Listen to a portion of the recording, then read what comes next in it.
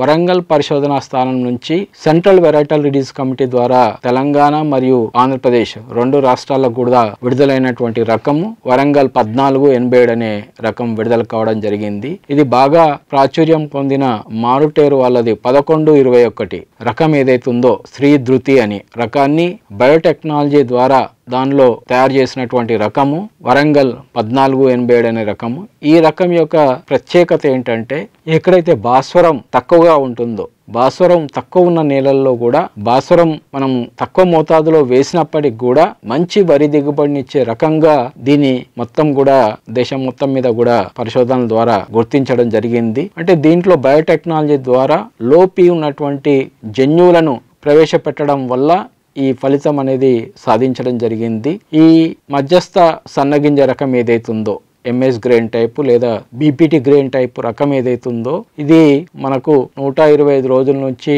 నూట ముప్పై రోజులలో కోతకు రావడం జరుగుతుంది. మంచి దిగుబడిని ఇచ్చేటువంటి ఈ రకము ఇప్పుడు రైతుల పొలాల లోపల బాగా ప్రాచుర్యం పొందుతుంది. అంతేకాకుండా ఈ రకం యొక్క ప్రత్యేకత ఏంటంటే ఈ దోమను బాగా సమర్థవంతంగా తట్టుకుంటుంది. మరియు అదేవిధంగా మనకు అగ్గి తెగులు ఆకు మీద వచ్చే అగ్గి తెగులు కానీ లేదా గొలుసు మీద వచ్చేటువంటి అగ్గి తెగులు గాడి ఈ రెండింటిని కూడా మధ్యస్థంగా తట్టుకునేటువంటి రకము ఎకరాకి ముప్పై క్వింటాల వరకు దిగుబడి ఇస్తుంది. మనకు తెలంగాణ మరియు ఆంధ్రప్రదేశ్ రెండు రాష్ట్రాలకు కూడా తెలంగాణ వరి ఎనిమిది అనే పేరు మీద విడుదల చేయడం జరిగింది.